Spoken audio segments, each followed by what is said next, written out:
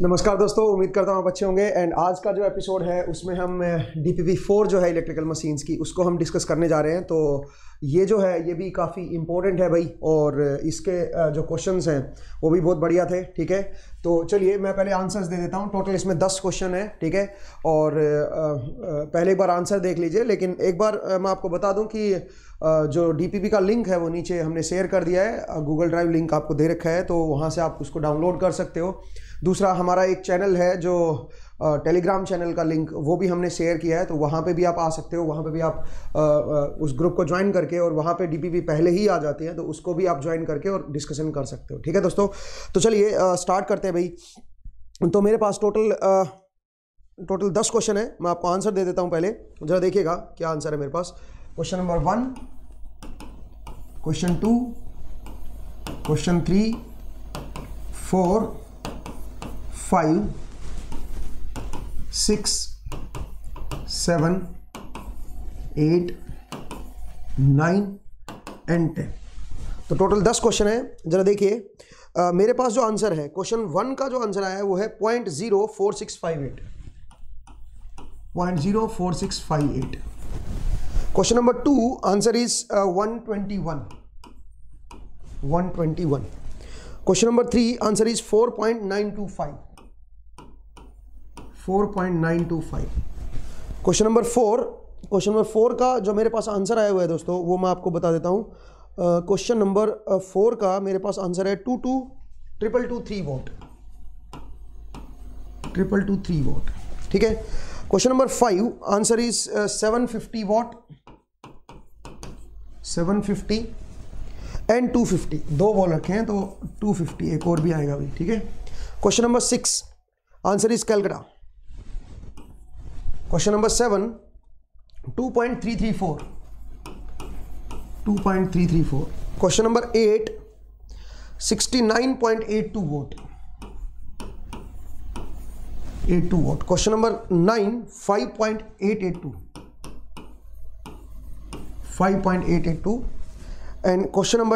thirty seven point three eight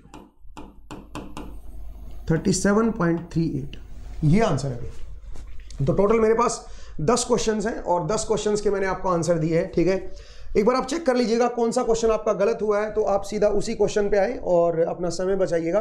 तो मैं आपको एक बात और बता दूँ, ऐसा हो सकता है कि मैंने कोई कैलकुलेशन मिस्टेक करके और आंसर्स मेरा मे बी डिफरेंट आया हो आपसे तो एक बार आप मेरा सॉल्यूशन देख लीजिएगा। ऐसा हो सकता है कि कैलकुलेशन मिस्टेक हुई हो बट मैंने कोशिश की है कि मिनिमम कम से कम कैलकुलेशन मिस्टेक हो, ठीक है ना? तो चलिए दोस्तों, पहला क्वेश्चन बहुत ही बढ़िया है, जरा देखिए। आपको क्या क्वेश्चन दे रखा है? क्वेश्चन नंबर वन देखिए भाई। क्वेश्चन नंबर वन में आपको एक डायग्राम दे रखा है सर्किट डायग्राम कुछ इस तरह का दिया हुआ है। यहाँ पे मेरी कोई लाइन है डिस्ट्रीब्यूशन लाइन या ट्रांसफ़र लाइन बोल दीजिए आप इसको। ठीक है? और यहाँ पे 1000 वोल्ट दिया हुआ ठीक है? और इस तरफ़ आपका ट्रांसफॉर्मर दे रखिए। यहाँ पे आपका ट्रांसफॉर्मर लगाया हुआ है। एक और ट्रांसफॉर्मर यहाँ पे दिया हुआ है। अच्छा आप कैलकुलेटर लेके बैठे थे क्योंकि जो वैल्यूज़ मैंने लिए वो मैंने रैंडम वैल्यूज़ ले लिए ठीक है? तो उससे क्या हो सक क्या हो गया? कैलकुलेशन थोड़ी सी आ, आपकी कैलकुलेशन में थोड़ी सी लेंदी हो गई है ठीक है ना? बट अगर मैं एग्ज़ाम के लिए फ्रेम करूँगा ऐसे क्वेश्चन को तो उसमें मैं वैल्यूज़ को अकॉर्डिंगली सेलेक्ट करूँगा। वाइंडिंग्स पे ध्यान दीजिएगा। वाइंडिंग्स पे ध्यान दीजिएगा। ये वाइंडिंग मैंने इस तरह नहीं है भाई इस इसको मैंने थोड़ा सा चेंज कर दिया है ठीक है? हाँ जी। ज़रा देखिएगा। ओरिएंटेशन बड़ी इंपॉर्टेंट है वाइंडिंग्स की। क्योंकि आप इसमें गलती करते हो, ठीक है? देखिएगा। कुछ इस तरह से, ठीक है? और ये जो पॉइंट है, ये आपका पॉजिटिव से कनेक्ट है, ऊपर। और ये जो पॉइंट है, ये नेगेटिव से कनेक्ट है। ठीक है जी? और इस पॉइंट को बोला X A this is Y A दूसरी तरफ़ देखिए, ये जो पॉइंट है, ये आई थिंक ऊपर से कनेक्ट है। और ये जो पॉइंट है, ये यहाँ से कनेक्ट है। ठीक है भाई? और ये जो साइड है मेरे पास, ये है X B and this is Y B कुछ इस तरह का दे रखा है दोस्तों। एक्स बी वाई बी ठीक है? अब सुनिए क्या कर रहा है। ये कह रहा है the two transfer A and B are connected in parallel as shown below the output terminal X A and X B X A and Y B and Y A and X B are connected together X A and Y B X A and Y B ये connected है and Y A and X B Y A and X B ये आपके connected है together ठीक है ना? कुछ इस तरह का दे रखा है। अच्छा आर वन एक्स वन दे रखा आपको ए ट्रांसफॉर्मर का। R one plus J X one transformer A का आपको दिया हुआ है और वो दे रखा आपको टू प्लस जे टू तो ये क्वेश्चन अपने आप में थोड़ा सा, इसकी स्टेटमेंट जो है, वो थोड़ी सी लंबी है भाई, ठीक है ना? और R R two X two a transformer का जो है सेकेंडरी साइड का जो दे रखा है ए ट्रांसफॉर्मर का वो आपको दे रखा है point zero two plus point zero two j point zero two इतना ओम आपको दूसरी तरफ़ का दिया हुआ है, ठीक है ना? अच्छा एक चीज़ और सुनिएगा। यहाँ पे ये दे रखा है वन थाउज़ेंड से वन ज़ीरो टू तो ये लो वोल्टेज साइड का होगा इंपीडेंस क्यों भाई? क्योंकि जिधर वोल्टेज लो होती है, उधर करंट ज़्यादा होता है, और करंट ज़्यादा होगा तो जो रेजिस्टेंस और जो रिएक्टेंसेस की वैल्यू आएँगी, वो थोड़ी स्मॉल हो जाएँगी, ठीक है ना? तो ध्यान दीजिएगा दोस्तों, ये इंपॉर्टेंट है, ठीक है ना? ए सेकेंडरी साइड का आपको रेजिस्टेंस एंड रिएक्टेंसेस दे रखे R two and X two और आर वन और एक्स वन ये प्राइमरी साइड का दे रखा है। ठीक है भाई चलिए, अब जरा देखिए इधर का। इसका R one plus j X one जो इसका बनेगा, वो आपका बनेगा। और ये जो है, ये मेरा बी है भाई बी का है। इसकी जो वैल्यू है that is one plus j one one plus j one और दूसरा R two plus X two जो मेरा बी ट्रांसफॉर्मर है उसकी जो वैल्यू है वो है point zero one plus j point zero one ठीक है जी? इतने ओम इसकी दूसरे की वैल्यू दे रखी है। ध्यान दीजिएगा दोस्तों कुछ इस तरह का दे रखा है। ठीक है भाई the current supplied by the source आपसे ये पूछा है कि uh, कितना करंट सोर्स सप्लाई करेगा ये पूछा है। क्वेश्चन बहुत ही प्यारा है ठीक है? तो जरा देखिए स्टेटमेंट को दोबारा नहीं लिखना होता बट मैंने लिख दिया क्योंकि आपको समझाना था मुझे। जरा देखिए दोस्तों, कैसे इसको सोल्व करेंगे। डॉट लगाएँगे इधर डॉट है तो इधर डॉट आएगा। अब दूसरी तरफ़, मैं यहाँ पे डॉट लगा रहा हूँ। वो वाइंडिंग जो कोर के नीचे से है तो इसका मतलब दूसरी तरफ़ यहाँ पे डॉट आएगा। ठीक है? तो जरा देखिए अब कनेक्शन कैसे करेंगे। ये इंपॉर्टेंट है भाई, क्योंकि अगर आपने मिस्टेक कर दी तो आप गए काम से, ठीक है? जरा देखिए, यहाँ पे दोनों की सेम सप्लाई है। ठीक है? तो अगर मैं नेक्स्ट स्लाइड पे आऊँ तो इसका R1 और R1 X1 R2 X2 अलग अलग वाइंडिंग का दिखा देता हूँ, ठीक है ना? तो जरा देखिएगा, पहला जो ट्रांसफॉर्मर है, उसका मैं R1 X1 R2 X2 अलग से दिखा देता हूँ, जरा देखिएगा। कुछ इस तरह का है दोस्तों। और इधर आपका जो दूसरी साइड है सेकेंडरी साइड उसका है। R one and X two इस तरह का है। और आप देख सकते हो वैल्यू जो है two plus j two this is two plus j two और ये जो दूसरी वैल्यू आएगी क्या बनेगी? Point zero two plus j point zero two ये आपकी दूसरी वैल्यू आएगी दोस्तों। सही है भाई? और यहाँ पे वन थाउज़ेंड वोल्ट है। यहाँ पे वन थाउज़ेंड वोल्ट है। अब आइए अच्छा इस करंट को मैं, इस वोल्टेज को मैं वी मान लेता हूँ। तो यहाँ पे आपकी दूसरी वोल्टेज होगी। टर्न रेशो आपका one thousand to one zero two है। One thousand to one zero two है। और क्यों ना इसी को वोल्टेज मान लूँ मैं? ठीक है? तो देखते हैं क्या बनता है। ठीक है? दूसरा केस आइए। दूसरे केस में क्या बोल रहा है? हाँ दूसरे केस में ज़रा देखिए। ट्रांसफॉर्मर जो है, उसको मैं इस तरह से दिखा रहा हूँ, दूसरा ट्रांसफॉर्मर ये थोड़ा सा लंबा जाएगा क्वेश्चन मतलब अगर आप सही से करेंगे सोल इसको। बट ये इतना भी लंबा नहीं है। मैं, इसलिए मेरा टाइम लग रहा है बिकॉज़ मैं आपको समझाने की कोशिश कर रहा हूँ, ठीक है ना? और दूसरी बात इसमें इस बार ऐसे कनेक्शन नहीं है। इसमें ये इस तरह का है भाई। और यहाँ पे अगेन यही मेरा सोर्स लगा हुआ है। इसको मैं यहाँ पे ले आता हूँ। और इसको मैं यहाँ पे ले आता हूँ। बस मैंने क्या कर दिया इस बार? मैं इस बार इसमें इम्पीडेंसेस दिखा रहा हूँ इसके। ठीक है ना? इस बार मैं इनके इम्पीडेंसेस साथ साथ दिखा रहा हूँ। तो जरा देखिए, इसका इम्पीडेंस कितना है, बताएँगे? इसका इम्पीडेंस है वन प्लस जे वन तो इसको दिखा देते हैं one plus j one one plus j one. इतना ओम है। और दूसरी तरफ़ आइए। मैंने अब कुछ नहीं किया, नीचे वाली साइड को ऐसे दिखा दिया, ऊपर वाले को सो दैट डॉट से डॉट मिल जाए। हालाँकि वो नीचे की तरफ़ था तो उसमें कोई दिक्कत नहीं है। और उधर का अगर मैं दिखाऊँगा तो क्या बनेगा? पॉइंट ज़ीरो वन ये बनेगा j point zero one plus point zero one. इतना है ना रेजिस्टेंस प्लस रिएक्टेंसेस ठीक है? कुछ इस तरह से। अब जरा देखिएगा, कौन सा पॉइंट किसके साथ कनेक्ट किया गया है? एक्स ए वाई बी के साथ। एक्स ए मतलब डॉट वाला डॉट के साथ कनेक्ट किया गया इसका तो बिल्कुल सही है। पोलर बिल्कुल पैरेलल कनेक्शन बिल्कुल सही है। ऑपोजिट पोलरिटी नहीं है अभी। ये पॉइंट जो है वो यहाँ से कनेक्ट किया गया ठीक है? और ये जो पॉइंट है, ये यहाँ से कनेक्ट किया गया ध्यान से देखिएगा।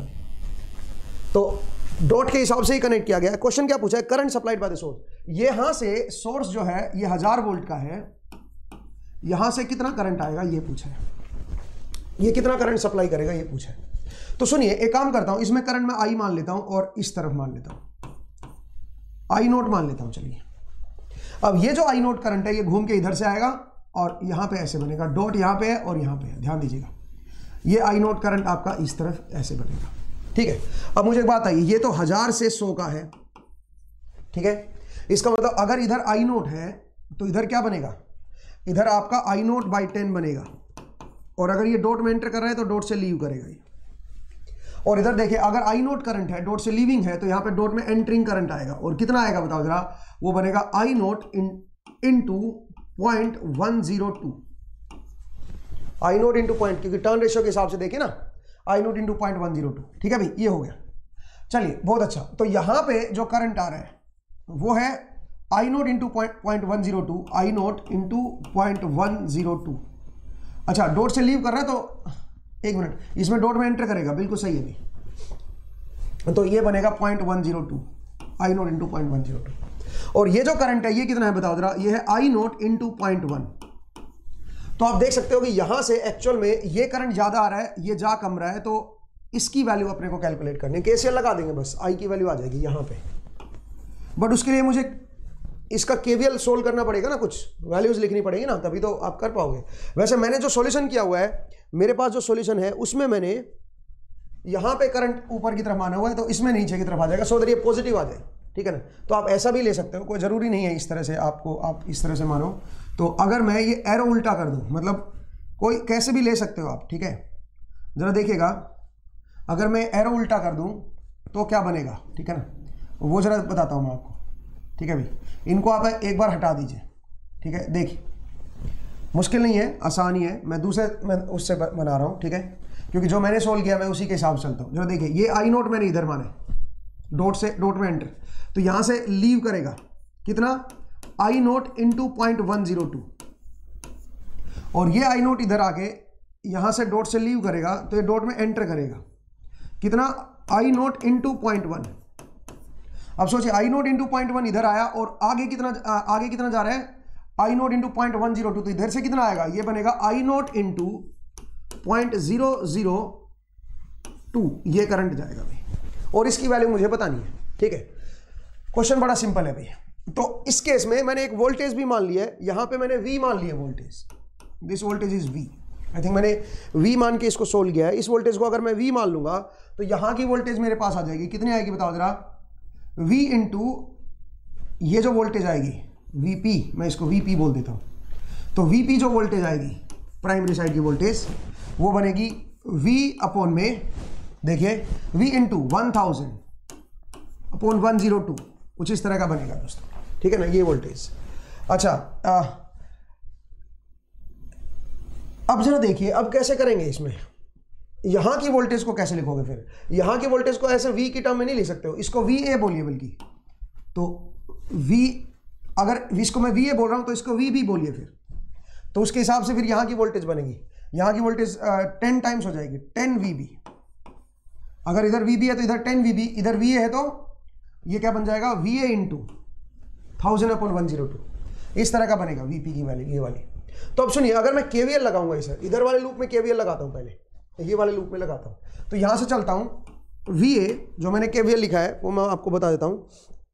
हाँ जी आ, या फिर आप इधर वाले लूप में भी केवीएल लगा सकते हो। इस लूप में चलो इस लूप में चलो ऐसे केवीएल लगा सकते हो।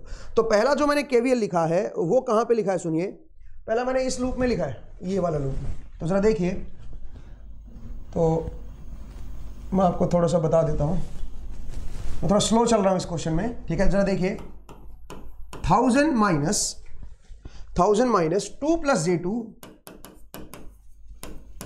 thousand minus two plus j two into point zero one point one zero two I ये जो ड्रॉप है, ये लिख दिया। Minus this voltage and this voltage is V one या V P minus V P equal to zero ये पहली equation है भाई, ठीक है ना? अब आइए दूसरी इक्वेशन ठीक है? दूसरी इक्वेशन इस लूप में चलिए। इस लूप में चलिए। तो थाउज़ेंड माइनस ये जो ड्रॉप है one plus j one into current कितना है बताओ जरा? और यहाँ पे प्लस आएगा भाई। पॉइंट वन इंटू आई और ये जो है, ये मैं इस पोलरिटी का ले रहा हूँ। माइनस इसको मैं क्या बोलूँ बताओ जरा? इसको टेन वी बोल देता हूँ। Minus V B into ten equal to zero ये दूसरी इक्वेशन बन गई है, ठीक है? अभी दो अननोन आ गए भाई एक आपका वीपी एक आपका एक आपका वीबी वीपी में असल में वीए है भाई असल में ध्यान दीजिएगा, यहाँ पे वीए वेरिएबल है, यहाँ पे वीवी वेरिएबल है और यहाँ पे आई तो तीन वेरिएबल आ रखे हैं, ठीक है? अब एक काम करते हैं, एक और इक्वेशन लिखते हैं। कौन सी तरफ़? ये वाली तरफ़, इधर से चलते हैं, ठीक है? तो इधर बताओ, अगर यहाँ पर टेन वी है तो यहाँ पर क्या बनेगा? वीबी और पोलरिटी ये बनेगी। डॉट के हिसाब से अगर आप लगा रहे हो, इधर प्लस लगा रहे हो, इधर माइनस तो इधर प्लस माइनस आएगा। तो आप बताइए, ये बनेगा वी बी और करंट आपका इधर से इधर आ रहा है तो जुड़ेगा। Point zero one plus j point zero one into this current और ये करंट क्या है, बताओ जरा आई नोट ये जो करंट है वो आई नोट है, या आई लिख दो आप इसको। आई की टर्म में लिखाओ ना, या सबको आई नोट कर दो इनको। I naught into I naught अच्छा आइए यहाँ पे। यहाँ पे भी जुड़ेगा। Plus j point zero two plus into में आई नोट यहाँ पे भी आई नोट होगा। And minus this voltage this voltage is V A equal to zero तो आपके पास तीन इक्वेशन है, तीन अननोन है। वीपी पे मत जाइए। VP is function of V A तो यहाँ पे वी ए की टर्म में लिख लो। तो वी ए वी बी और आई नोट उनके, उनकी टर्म्स में तीन इक्वेशन है। तो मुझे लगता है आप आपको इनकी रीसफलिंग करनी है, इनको सोल्व करना है भाई। मेरे पास जो आंसर आएगा वो मैं बता देता हूँ। आई की वैल्यू जो आई आई नोट की जो वैल्यू आएगी।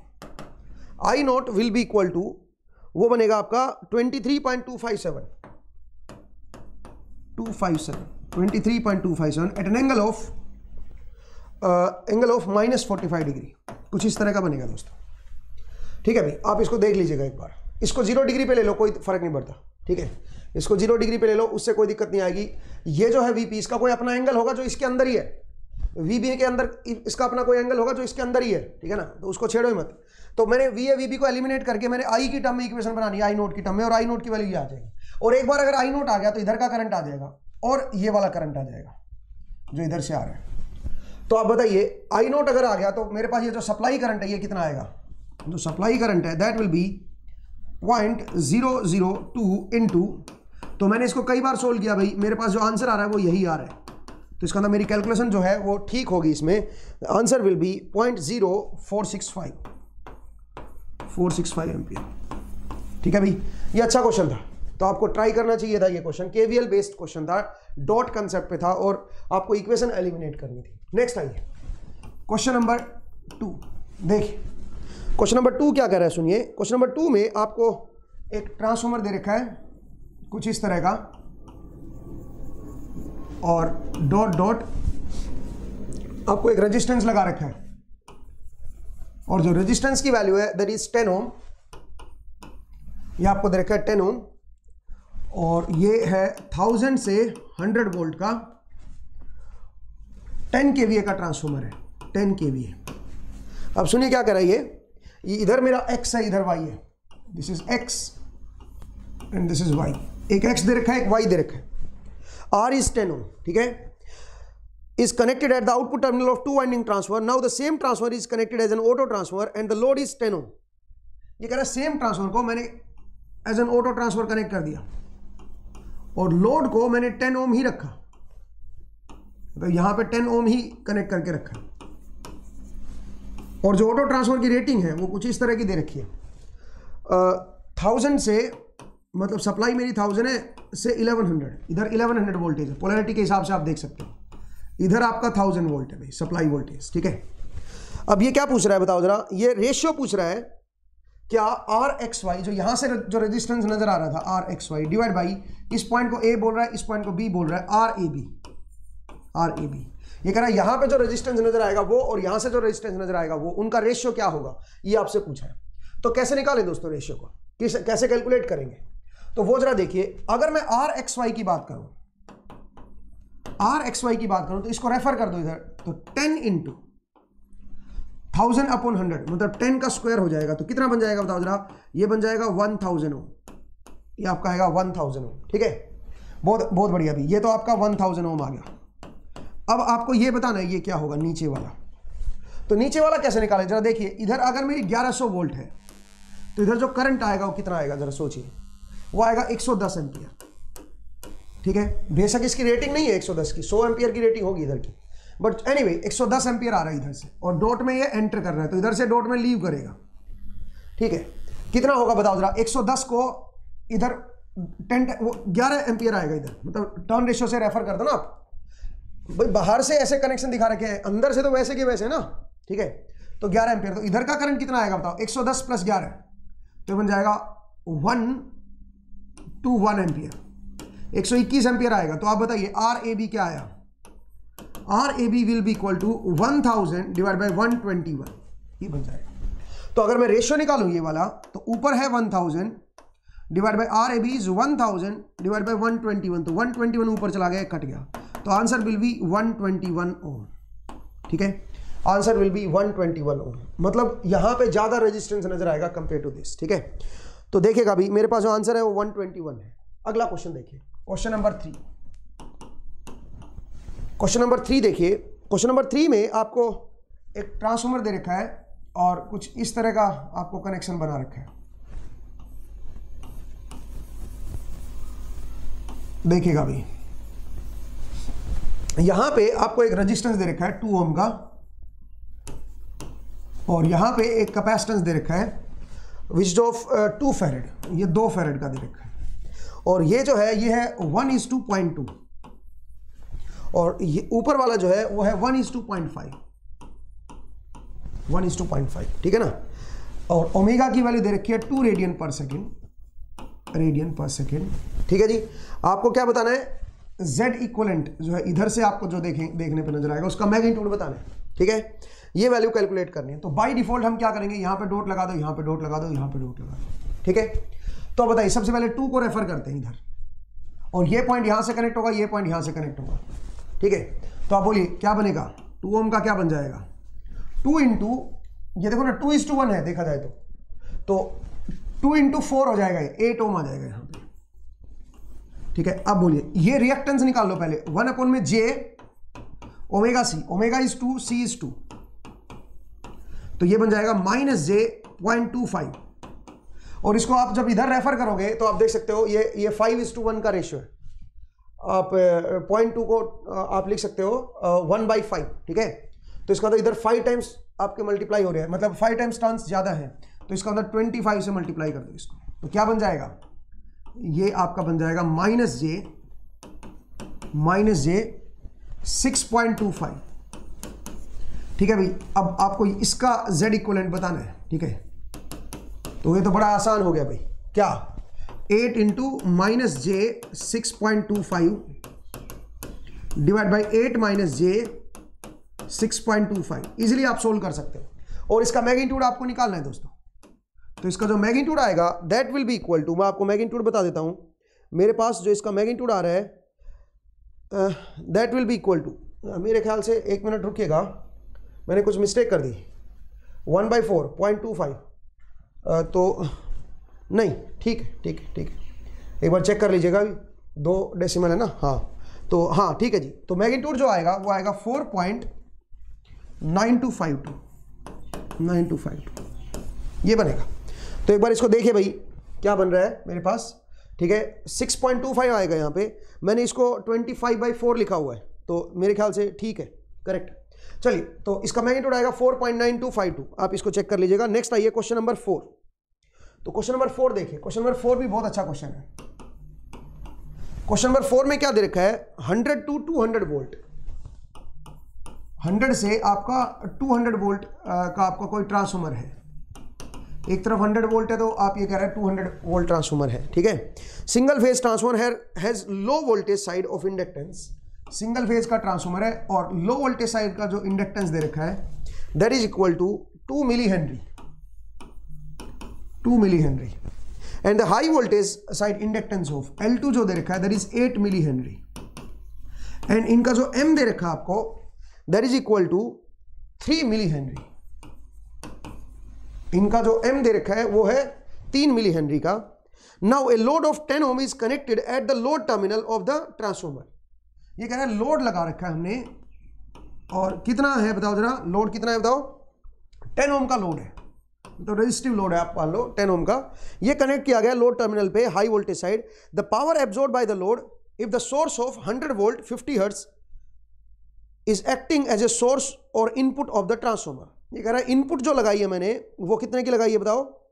आपको 100 वोल्ट की लगाई है, आपको बताना है पावर कितनी एब्जॉर्ब करेगा? पहली बात तो ये कि ये जो 100 टू 200 आपको दे रखा है, ये ठीक नहीं है, मेरे हिसाब से। यहाँ पे एक छोटी सी मिस्टेक है। ठीक है? अब आप बोलोगे, कैसे सर? 100 टू 200 आपको ये जो रेशियो दे रखा है, ये ठीक नहीं है भाई ठीक है? क्यों ठीक नहीं है? अब बोलोगे, दिक्कत क्या है इसमें? L1 दे रखा है L2 दे रखा है और M दे रखा है। A यहाँ से हम निकाल लेंगे। ठीक है? तो अगर A भी मुझे पता चल जाए सेल्फ इंडक्टेंस म्यूचुअल इंडक्टेंस दे रखी है तो मैं इजीली इसको सोल्व कर सकता हूँ। सही बताऊँ तो ये इसलिए ठीक नहीं है बिकॉज़ वैसे आप यहाँ से ए निकाल भी नहीं सकते हो। जैसे देखो, अगर ए की मैं बात करूँ a is N one by N two turn ratio उसकी जो वैल्यू होती है, वो होती है root of L one by L two ठीक है? लेकिन वो तब होती है जब ये क्या हो? जब के की वैल्यू वन हो मतलब आइडियल ट्रांसफॉर्मर हो। उस केस में ऐसा होता है। ठीक है? ए की वैल्यू आपकी root of L one by L two होती है, जब आइडियल ट्रांसफॉर्मर होता है। तो खैर, यहाँ पे अगर आप देखोगे ए की वैल्यू क्या है बताओ जरा? वन बाई फोर तो वन बाई टू बनेगी। This is one by two आप देखो ना L one by L two करोगे तो वन बाई फोर बनेगा और रूट लोगे तो वन बाई टू आएगा। तो यहाँ से भी तो वन बाई टू ही है।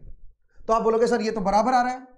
ये वैल्यू और यहाँ से जो L1 वन बाई एल जो है रूट वो तो बराबर आ रहा है तो इसका मतलब तो आइडियल ट्रांसफॉर्मर है। आइडियल ट्रांसफॉर्मर होता तो के की वैल्यू वन होती और के की वैल्यू क्या होती है? M divide by root of L one अब एम की वैल्यू जो है वो कितनी है बताओ जरा? वो है मेरे पास थ्री मिली हेनरी और रूट ऑफ़ एल वन कितना है बताओ जरा? सिक्सटीन फोर मिली हेनरी आ जाएगा यहाँ पे। क्योंकि सिक्सटीन का स्क्वायर करोगे ना स्क्वायर रूट लोगे तो, तो इसका मतलब this is not equal to one तो कुल मिला के मैंने बोला कि यहाँ से तो आपका ए जो रेशियो आ रहा है, वो वन आ रहा है, और यहाँ से आपका इस तरह तो नहीं बन रहा है तो इसका मतलब कुछ तो गड़बड़ है। गड़बड़ यह है कि ये देना ही नहीं चाहिए, इसकी ज़रूरत नहीं है, ठीक है? Hundred to two hundred volt इसकी ज़रूरत नहीं है, ठीक है? ये गलत है। तो कई बार रेक्टिफाई करना क्वेश्चन को, वो भी एक अच्छी चीज़ है। आप क्वेश्चन को रेक्टिफाई कीजिए, ठीक है? तो वो एक अच्छी बात है। तो इसमें स्टेटमेंट में थोड़ी सी मिस्टेक है, लेकिन ये, इसका ये मतलब नहीं है कि इसको मैं सोल्व नहीं करूँगा, ठीक है? आगे सोल्व करूँगा। इतना देने की ज़रूरत नहीं थी, यही काफ़ी था मेरे लिए। ठीक है? जो मतलब जो वोल्टेज शुरू में हंड्रेड टू टू हंड्रेड दे रखा है, उसकी ज़रूरत नहीं है मुझे। क्योंकि वो कॉन्ट्राडिक कर रहा है फिर चीज़ों को। तो चलिए, ज़रा देखिए दोस्तों, आगे बढ़ते हैं। तो तो आपको ये पता होना चाहिए भाई। तो अब इसको सोल्व कैसे करें? ज़रा देखिए। मेरे पास सेल्फ इंडक्टेंस दे रखा है, इधर का और दूसरी तरफ़ का। और इनके बीच में म्यूचुअल इंडक्टेंस दे रखा है। एल वन कितना दे रखा है टू मिली हेनरी और एल टू कितना दे रखा है एट मिली हेनरी और एम आपको दे रखा है थ्री मिली हेनरी। एम है मेरे पास थ्री मिली हेनरी का। ठीक है, और यहाँ पे ये कह रहा है मैंने लोड लगाया है टेन ओम का। दस ओम का मैंने लोड लगा रखा है। ठीक है ना? अब, और इधर मैंने सोर्स दिया है सौ वोल्ट का। आपको बताना है पावर लॉस कितना आएगा। तो मुझे लगता है तो नेटवर्क थ्योरी का क्वेश्चन हो गया, ठीक है ना? और रजिस्टेंस लगा रखा है दस ओम का। हाँ जी। आपको बताना है कि भाई कितना पावर लॉस होगा, ठीक है? अब एक दिक्कत और है, सुनिए। क्या मुझे ये कैसे पता? अच्छा इसने लो वोल्टेज साइड और हाई वोल्टेज साइड का इंडक्टेंस अलग से दे रखा है। इधर लो वोल्टेज साइड है, इधर हाई वोल्टेज साइड है, ठीक है ना? तो लो वोल्टेज साइड का ये दे रखा है हाई वोल्टेज साइड का ये दे रखा है और लो वोल्टेज साइड पे आपको हंड्रेड ओम जो टेन ओम दे रखा है, वो हाई वोल्टेज साइड अप्लाई किया गया। मतलब एट मिली हेनरी वाली साइड अप्लाई किया गया, ठीक है ना? क्योंकि कई बार ये भी कंफ्यूजन होता है कि कौन सी साइड लोड है, कौन सी साइड कौन सी हाई वोल्टेज साइड है, कौन सी लो वोल्टेज साइड है, वो नहीं पता। तो खैर, ये तो क्वेश्चन बहुत ही आसान हो गया, ठीक है?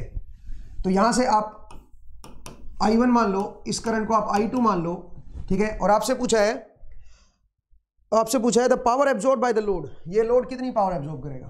तो अगर आई टू आ गया तो मज़े आ जाएँगे। तो इसका मतलब यहाँ पे केवीएल लगा दीजिए। और यहाँ पे केवीएल लगा दीजिए। तो तो नेटवर्क का मैग्नेटिकली कपल्ड सर्किट का क्वेश्चन हो गया। Hundred angle zero minus two into ten S to R minus three d i one by d t plus अब ये आपको पता होना चाहिए भी। Ten S to minus three d i two by d t will be equal to zero पहली question ये बनेगी। और डी बाई डी टी की जगह जे ओमेगा कर दो। ओमेगा आपको दे रखा है हंड्रेड पाई फिफ्टी हर्ट्ज है ना? ठीक है? तो ओमेगा इज़ हंड्रेड पाई ठीक है भाई? हंड्रेड पाई तो ओमेगा की जगह डी बाई डी टी की जगह जे ओमेगा करके इसको आप सोल्व कर दूसरी तरफ़ जब आप इक्वेशन लिखोगे तो क्या लिखोगे बता जरा? Eight into ten is minus three d i two by d t plus M M कितना है? Three into ten is minus three d i one by d t minus ten i two equal to zero तो दो equation है भाई, और दो ही unknown है। यहाँ से आप आई वन की वैल्यू निकाल लो in terms of i two ऊपर वाले में पुट कर दो। या फिर d i one by d t की वैल्यू निकाल लो in terms of i two वो यहाँ पे पुट कर दो। ठीक है? और फिर उसको सोल्व कर लो मेरे पास जो आई टू आएगा यहाँ से, वो क्या बनेगा? जो मेरे पास आई टू बनेगा that will be equal to मैं आपको बता देता हूँ आई टू की वैल्यू आएगी fourteen point nine one fourteen point nine one angle आएगा कुछ, ज़रूरत नहीं है एंगल की। और ये आरएमएस वैल्यू है। ये कैसे पता आरएमएस वैल्यू है? क्योंकि जो सौ वोल्ट दे रखा था, ये आरएमएस दे रखा था। तो अब बताइए, जो जो पावर आएगी 14.91 इसका स्क्वायर इनटू क्या कर दो? आर ये आ जाएगा। ठीक है? तो आंसर विल बी मैं आपको बता देता हूँ, जो मेरे पास आंसर है, वो है two two triple two three एक बार आप चेक कर लेना। ये आंसर है भी अच्छा कुछ लोग बोलेंगे, सर, इसको transfer as a magnetically coupled circuit नहीं कर सकते क्या? बिल्कुल कर सकते हैं। जरा देखिए, मैं आपको समझाता हूँ। जब भी आपका कोई कपल्ड सर्किट होता है, ऐसे, अगर मुझे सेल्फ इंडक्टेंस पता है इधर का L1 और इधर का L2 इधर का अगर L2 पता है और इनके बीच का म्यूचुअल इंडक्टेंस मान लीजिए M है। ठीक है? तो आपको याद होगा, मैं ट्रांसफॉर्मर को इस तरह से लगा, दिखाता था। A L two minus L two minus L one minus a M यहाँ पर जो होता था, वो क्या होता था बताओ जरा?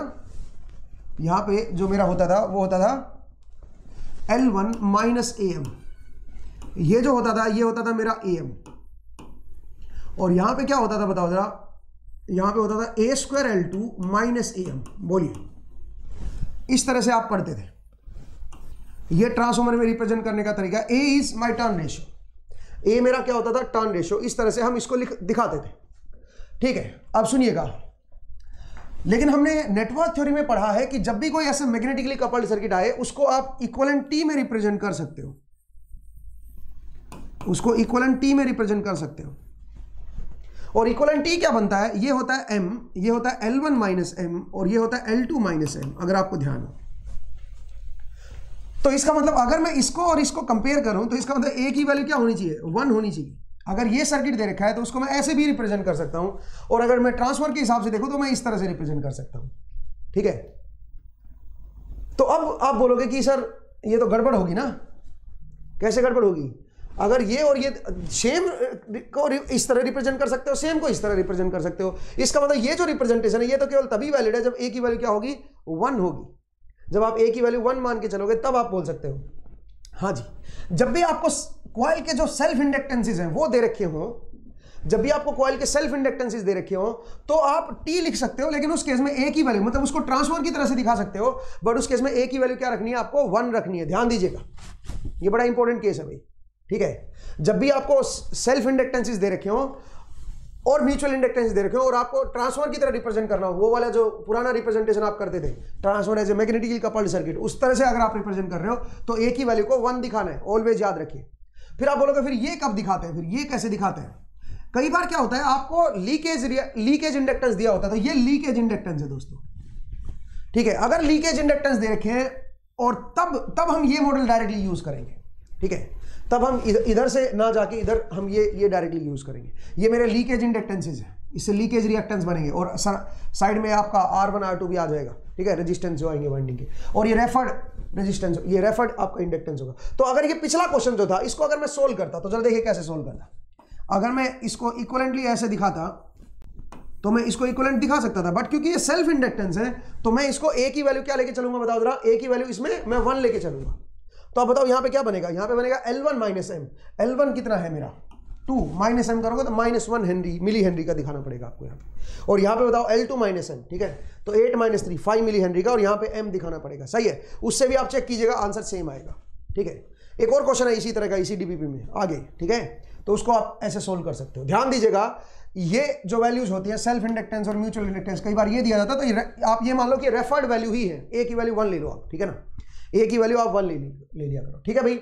चलिए तो इससे भी आंसर आपका सेम आएगा, आप चेक कर लेना। नेक्स्ट आइए क्वेश्चन नंबर कौन सा था बताओ जरा। ये आपका fourth next question number five देखिए भाई। क्वेश्चन नंबर फाइव क्या कह रहा है, सुनिए। आपको कुछ इस तरह का दे रखा है। ये है पीसी बाई एफ़ ठीक है? और ये है मेरा एफ़ एफ़ इन हर्ट्स और आपको कुछ इस तरह का ये दे रखा है। इस तरह की लाइन दे रखी है। और यहाँ पे पी सी बाई एफ़ की वैल्यू है फाइव और यहाँ पे टेन दे रखा है। इस पॉइंट पे जो वैल्यू है आपकी, वो वैल्यू जो है, वो है eight this value is eight अब ये क्या करे the eddy current loss and the hysteresis loss at 50 hertz are respectively eddy current पूछ रहा है कितना होगा, और हिस्टेसिस लॉस पूछ रहा है कितना होगा? एट 50 हर्ट्स 50 हर्ट्स अब सुनिए। पीसी बाई एफ़ एफ़ के साथ इंक्रीज हो रहा है।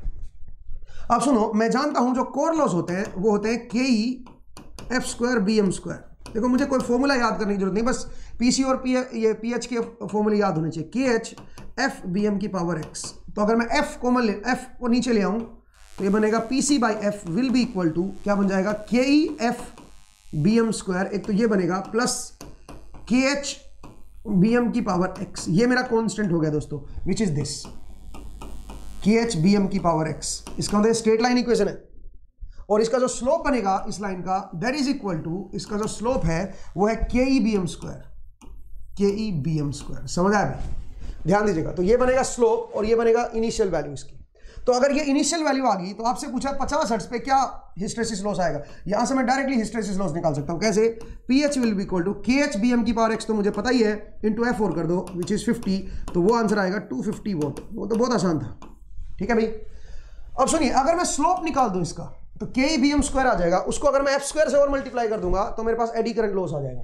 तो के बी एम स्क्वायर क्या बनेगा बताओ जरा? के बी एम स्क्वायर जो बनेगा, इसका स्लोप देख लो क्या बनेगा। वो बनेगा three by ten point three बन जाएगा इसका स्लोप ठीक है? Eight minus five divide by ten minus zero ठीक है ना?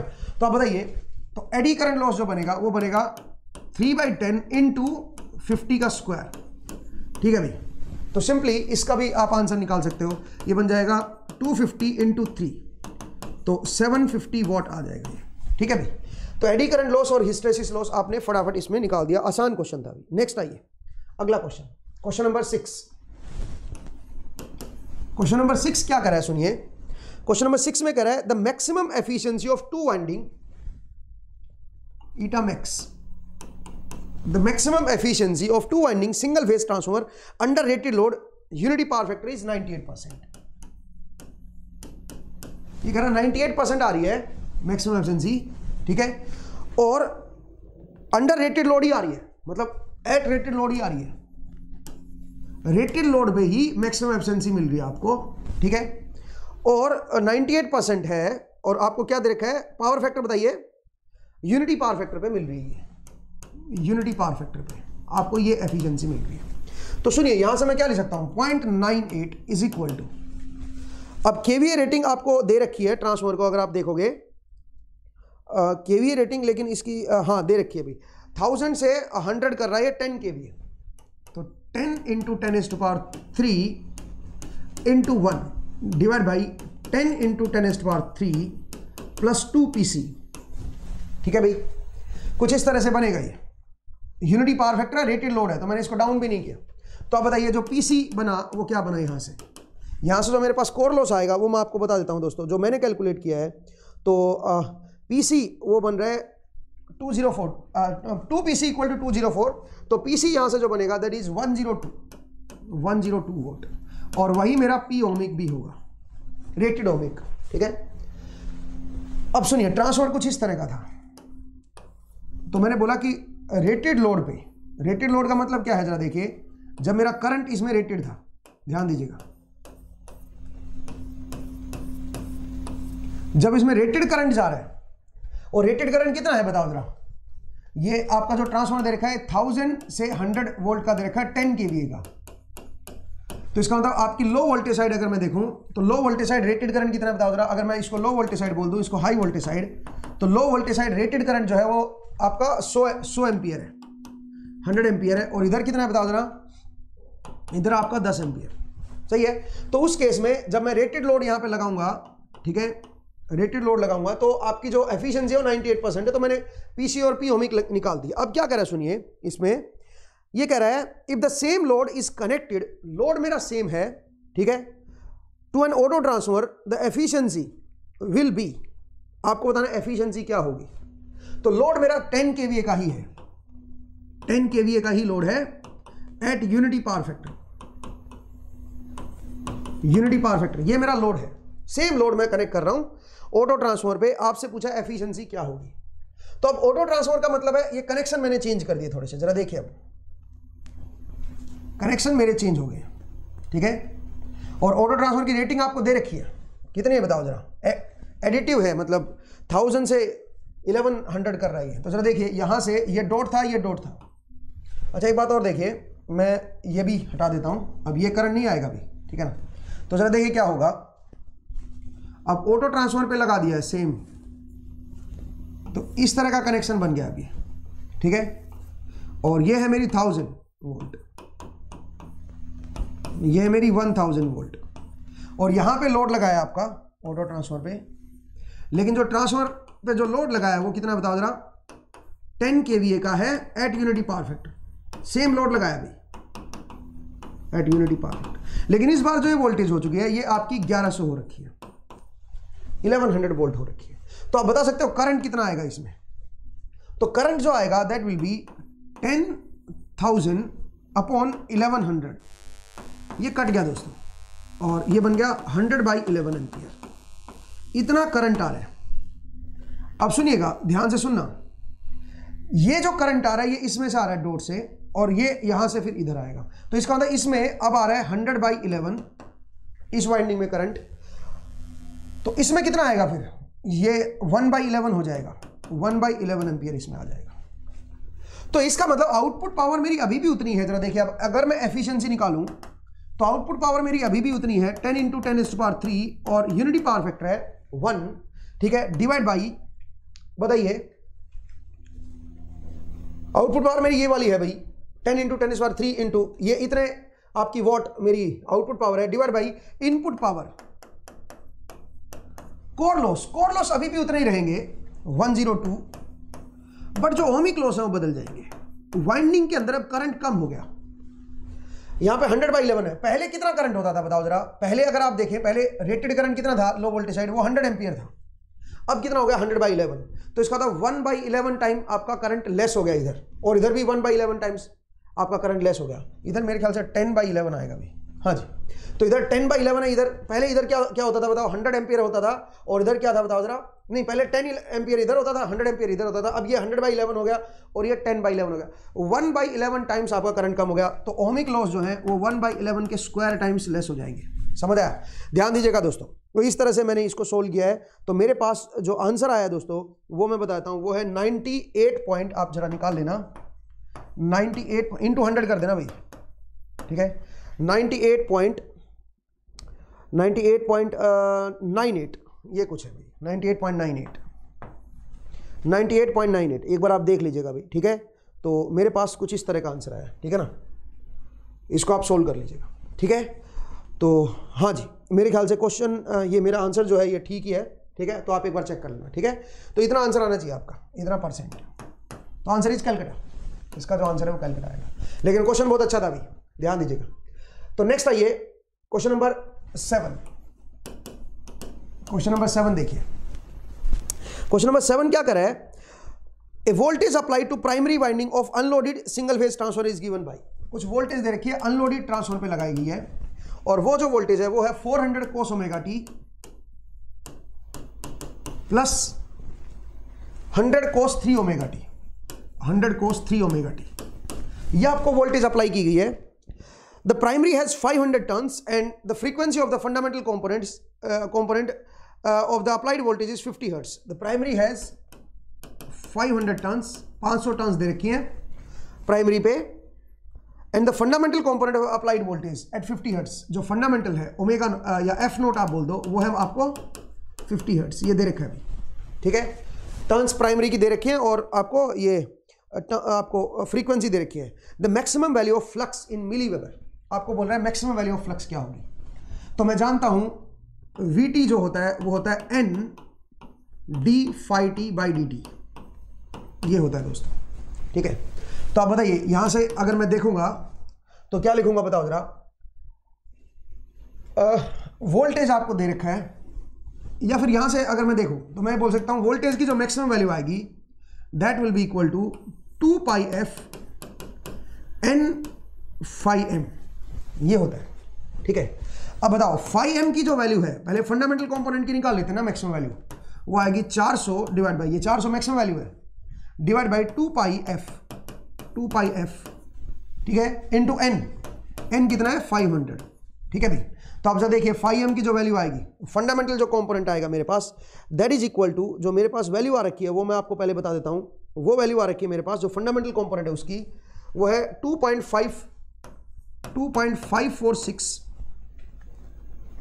two point five four six five into ten S to R minus three ये वैल्यू आ रखी है ठीक है? और मैं आपको यह भी बता दूँ कि ये जो वैल्यू आएगी वोल्टेज में कोसाइन है तो इससे लैग करेगी। ठीक है ना? इसका अंदर क्या बनेगी बताओ जरा ये वोल्टेज ये साइन की बनेगी वोल्टेज ठीक है?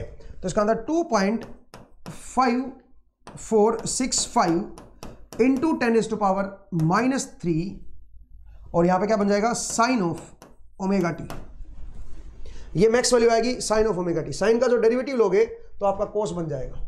माइनस प्लस को छोड़िए, वो इंपॉर्टेंट नहीं है, ठीक है? तो इस, इसका ये बन जाएगा दोस्तों, ठीक है ना? अब आइए अगला। अगले का भी ऐसे ही करोगे, लेकिन उसमें क्या हो जाएगा यहाँ पे? एक तो यहाँ पे जो पीक वैल्यू है, ये फाइव एम वन है भी। ऐसे ही फाइव एम थ्री निकाल लीजिए, वो क्या बनेगा बताओ जरा? यहाँ पे आ जाएगा हंड्रेड डिवाइड बाई नीचे क्या आएगा? Two pi into one fifty third harmonic है ना? इंटू फाइव इसकी जो वैल्यू आएगी, जो मैंने कैलकुलेट किया है, वो है मेरे पास two point one two two in to ten to R minus four ये मैक्स वैल्यू है भाई। अब क्या लिखोगे यहाँ पे? यहाँ पे लिखोगे plus two point one two two in to ten to R minus four sine of three omega T ये बनेगा दूसरे का। तो आपको फ्लक्स की वेव फॉर्म पता चल गया फ्लक्स पता चल गया टाइम के साथ कैसे वेरी कर रहे हैं, ठीक है ना? अब ये क्या पूछ रहा है, जरा देखिए। ये पूछ रहा है the maximum value of flux in milli weber तो ये टेन स्क्वायर माइनस थ्री हटा दो, और यहाँ पे ये पॉइंट लगा दो, यहाँ पे ये टेन स्क्वायर माइनस फोर हटा दो, ठीक है? तो मिली में आ जाएगा अब ये, ठीक है? तो ये मेरा मिली में बन गया और यहाँ से ये हटा दो, और ये डेसिमल यहाँ पे हटा दो, ये मेरा मिली में आ गया भाई ठीक है? और इसकी मैक्सिमम वैल्यू पूछ रहे हैं तो मैक्सिमम वैल्यू कहाँ पे आएगी? जब इसका डेरिवेटिव ज़ीरो हो जाएगा। तो अगर मैं डेरिवेटिव निकालूँ D Y T by D T तो यहाँ पे कोसाइन आ जाएगा। मतलब इसी तरह का कुछ बनेगा। एक में कोस ओमेगा टी होगा, एक में कोस थ्री ओमेगा टी आगे की वैल्यू थोड़ी डिफरेंट होगी बस। मतलब इनको 500 से डिवाइड कर दो। इसका डेरिवेटिव अगर आप निकालोगे तो मेरे ख्याल से जो बनेगा, वो बन जाएगा। मतलब एक कोस आएगा, एक कोस थ्री ओमेगा टी आएगा। आप समझिए ना? एक में कोस आएगा, कुछ के वन आ जाएगा यहाँ पे, और एक में के two cos three omega T ये बनेगा। अब ये ज़ीरो कब होता है? जब ओमेगा टी की value pi by pi by two हो जाए। तो omega equal to pi by two पे मैक्सिमम आएगा इसका मतलब। और omega equal to pi by two पे फ्लक्स की मैक्सिमम वैल्यू क्या बनेगी फिर? जरा पुट कर दो omega equal to pi by two तो पाई बाई टू पुट करोगे तो ये क्या बनेगा? ये बनेगा two point five four six five अच्छा प्लस ये क्या बनेगा? ये टू सेवेंटी बन जाएगा पाई बाई टू पे। टू सेवेंटी बनेगा तो माइनस का आएगा ये।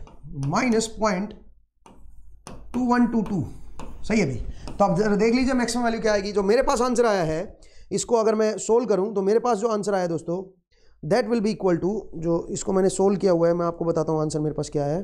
क्वेश्चन नंबर कौन सा था ये? क्वेश्चन नंबर सेवन सेवन का है two point three three four two point three three four this is the answer milli weber मेरे पास ये आंसर आया दोस्तों। ठीक है भाई, आसान क्वेश्चन था। नेक्स्ट आइए question number eight question number eight देखिए क्या हैं in the above question if no load current is found to be जो नो लोड करंट है नो लोड पे जो करंट लिया जा रहा है that is equal to point four three cos of cos of omega T minus forty degree एक तो ये है प्लस एक और दे रखा है अभी आपको point zero zero eight point zero eight cos of बोलिए cos of three omega T minus ten minus ten degree ये दे रखा है। ये कह रहा है, अगर मैं आई नोट की वैल्यू ये ले लूँ, ठीक है नो लोड पे the core loss the total core loss तो पीसी की वैल्यू पूछिए आप, क्या होगी? वोल्टेज आपको दे रखी है, जो सप्लाई वोल्टेज है, वो आपको दे रखी है वो कितनी बताइए जरा? वो है 400 hundred cos omega T plus 100 cos of 3 omega T ये सप्लाई वोल्टेज है, और ये कह रहा है करंट ही आ रहा है नो लोड पे. तो यार ये तो देख लो कितनी पावर जा रही है। जो सारी सारी पावर जाएगी वो कोर लॉस में तो जाएगी, क्योंकि नो लोड पे काम कर रही है। तो इसका PC will be equal to बताइए क्या बनेगा? One by two this into this तो 400 पार्शियल रिलेशन लग जाएगी ना पावर की, ठीक है? कोस ऑफ़ बोलिए कोस ऑफ़ 40 डिग्री प्लस अब ये तो पता होना चाहिए भैया आपको, ठीक है ना?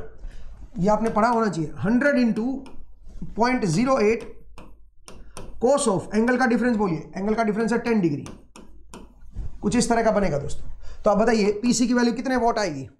तो पीसी की जो वैल्यू आएगी क्वेश्चन नंबर एट का जो आंसर है मेरे पास, वो है 69.82 वोट 69.82 वोट आसान क्वेश्चन था।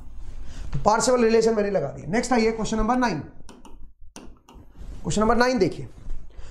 क्वेश्चन नंबर नाइन में क्या कर रहा है? For the above question which is question number seven if the primary voltage is free of third harmonic voltage the percentage change in eddy current loss eddy current loss में कितना percent का change आएगा? आपसे ये पूछ रहा है। अगर ये ये कह रहा है कि इसमें क्या ना होता, अगर ये कह रहा है कि थर्ड हार्मोनिक कंपोनेंट ना होता तो ठीक है? Free from third harmonic component अगर थर्ड हार्मोनिक कंपोनेंट ना होता, किसमें? प्राइमरी वोल्टेज वोल्टेज में। अगर वोल्टेज में थर्ड हार्मोनिक कंपोनेंट ना होता, ठीक है? तो आपसे पूछ रहा है कि भाई कितना चेंज आता एडी करंट लॉस में? असल में एडी करंट नहीं बोलना चाहिए, मुझे टोटल कोर लॉस बोलना चाहिए, क्योंकि एडी करंट तो अकेला आप अलग से आप फाइंड ही नहीं कर सकते हो, ठीक है? एडी करंट लॉस कैसे फाइंड करोगे? वो तो बहुत ही मुश्किल है। ये कोर लॉस में चेंज पूछ रहा है भाई, कितना कोर लॉस में चेंज आएगा, ठीक है ना? तो कोर लॉस में कैसे चेंज निकालोगे जरा देखिए। अब जो पावर लॉस आएगी, वो कितनी आएगी? वो आएगी one by two in two बस थर्ड हार्मोनिक की वजह से कोई पावर नहीं आएगी four hundred in two point four three cos of forty degree ये बनेगा भाई। तो आप देख सकते हो इसकी वैल्यू क्या आएगी। इसकी जो वैल्यू आएगी मेरे पास that will be equal to मैं आपको बता देता हूँ uh, ज़्यादा डाउन नहीं है थोड़ा सा ही डाउन आएगी इससे। मतलब जो डिफरेंस आएगा वो मैं बताता हूँ जो डिफरेंस बनेगा वो बनेगा 3.94 इससे 3.94 आप माइनस कर दो।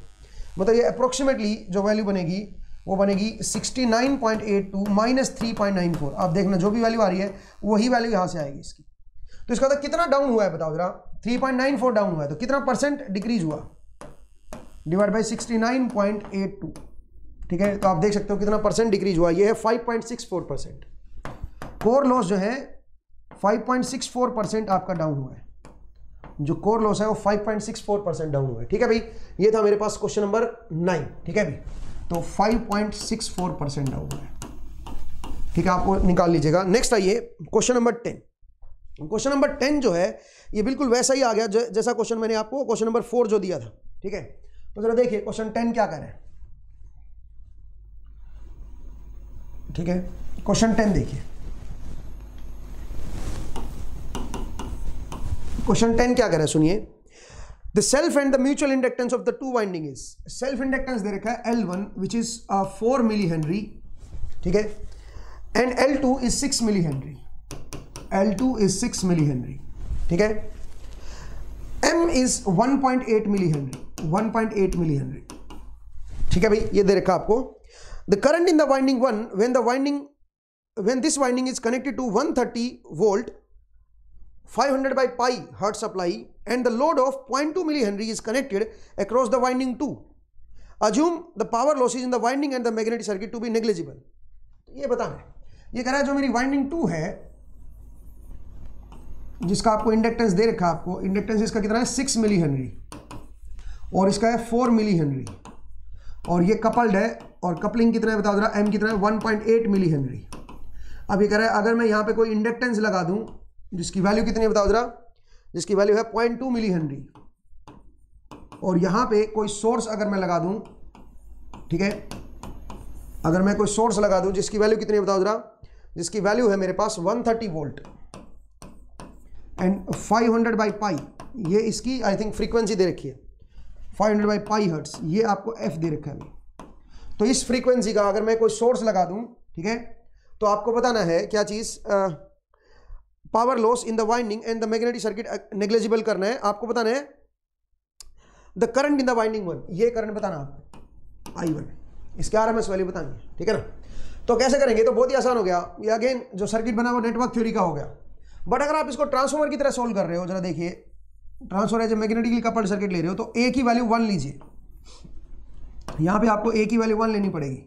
और यहाँ पे आप इंडक्टेंस लगा दीजिए और ये सोर्स लगा दीजिए। या फिर ए की वैल्यू वन लेने का, इसका टी इक्वलेंट बना लो। वही बात है, एक ही बात है, जो आपने नेटवर्क थ्योरी में समझा है टी इक्वलेंट ठीक है? तो एल वन माइनस एम कर दो। एल वन माइनस एम करोगे तो यहाँ पे क्या बन जाएगा बताओ जरा? ये बन जाएगा two point two point two two point two milli henry. ठीक है, आप देख सकते हो four minus one point eight करोगे तो two point two milli henry दूसरा, यहाँ पे एल टू माइनस एम करोगे तो six minus one point eight ठीक है? तो बन जाएगा four point two milli henry ठीक है भाई और यहाँ पे पॉइंट टू मिली हेनरी ये आपको दे रखा है, और जो एम दे रखा है there is one point eight milli henry तो अब हो जाएगा बस क्वेश्चन ठीक है? इक्वलेंट एल निकाल लो यहाँ से। ठीक है, और ये करंट आ जाएगा प्राइमरी से। तो मेरे पास जो करंट का आंसर आएगा that will be thirty seven point three eight आप निकालिएगा। Thirty seven point three eight ampere ये आएगा। करना बड़ा आसान है। वन थर्टी वोल्ट है यहाँ पे आरएमएस वैल्यू फ्रीक्वेंसी आपको देखिए पहले तो एल इक्वलेंट निकाल लो इसका यहाँ तक का। ये दोनों सीरीज़ में है। उसके पैरेलल में ये दे रखा है। उसके सीरीज़ में ये दे रखा है। तो जैसे रेजिस्टेंस का इक्वलेंट निकालते हो, वैसे ही आप एल इक्वलेंट निकाल लीजिए। और 130 डिवाइड बाई जो आपका इक्वलेंट रिएक्टेंस है, उसको डिवाइड कर दीजिए, आपके पास करंट आ जाएगा। ठीक है ना? तो क्वेश्चन बहुत सिंपल था। आप इस तरह से करोगे तो लंबा जाएगा देखना। आई वन आई टू फिर उसको सोल्व करोगे, उससे बहुत लंबा चला जाएगा, इसलिए इस तरीके से आप इसको सोल्व कीजिए, ठीक है ना? तो ये मैं आपको पहले भी एक्सप्लेन कर चुका था। चलिए दोस्तों, आज का जो एपिसोड है, उसको मैं यहीं पे रोक रहा हूँ। उम्मीद करता हूँ आपको जो क्वेश्चन हैं वो समझ आए, ठीक है? तो अगर आपको ये वीडियो जो हमने जो डीपीपी नंबर फोर जो डिस्कस किया आपके साथ तो अगर इससे कुछ आपके कंसेप्ट क्लियर हुए हो, ठीक है? तो इस वीडियो को लाइक कर दीजिएगा भाई, ठीक है? चैनल को सब्सक्राइब कीजिए, ये इंपॉर्टेंट है। बेल आइकन प्रेस कर दीजिएगा, इससे आपको नोटिफिकेशन मिलते रहेंगे। आपको कोर्सेज की अगर आपको जानकारी लेनी है तो हमारी जो वेबसाइट है C S E D U dot co dot in इस पर आप विज़िट कीजिए। और अगर कोई क्वेरी है, आप इस नंबर पे आप हमें कॉल कर सकते हो, ठीक है भाई? तो आज का जो एपिसोड है, उसमें इतना ही दोस्तों। नेक्स्ट एपिसोड में आपसे फिर से मुलाकात होगी। पढ़ते रहिए, मुस्कुराते रहिए और मेहनत करते रहिए। नेक्स्ट टाइम आपसे मिलते हैं। Thank you